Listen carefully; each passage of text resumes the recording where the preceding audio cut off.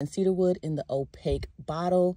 This is a dark burgundy bottle, and this is said to smell like Baccarat Rouge. This one is the only one I purchased on their actual website, and this is the Vanilla Musk. It dropped, I want to say, in October, and I got it before it sold out.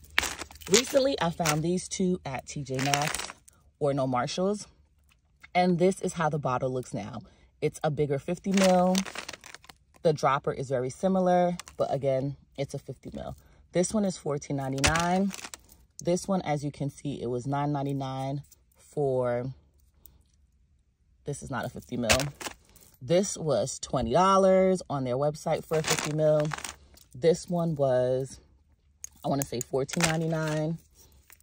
And this one was $14.99. So this is the evolution of Sand and Fog's perfume oil.